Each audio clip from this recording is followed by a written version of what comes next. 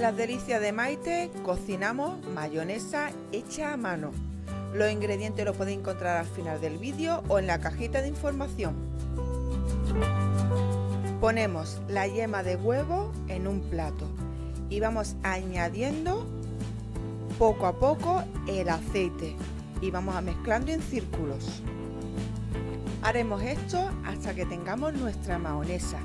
Podéis utilizar aceite de oliva o aceite de girasol.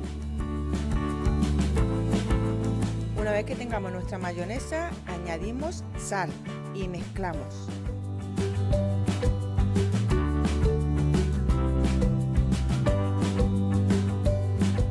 Por último, añadimos el zumo de limón y volvemos a mezclar.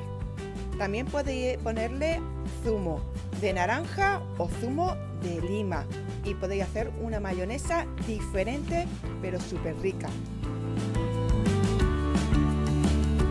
Ya tenemos lista nuestra mayonesa, podéis utilizarla para lo que queráis o simplemente comerla así, con un buen trozo de pan. Mm. Si te ha gustado mi receta, regálame un like. Me encantaría leer tu comentario y no olvides suscribirte y darle a la campanita para no perderte ninguna de mis recetas.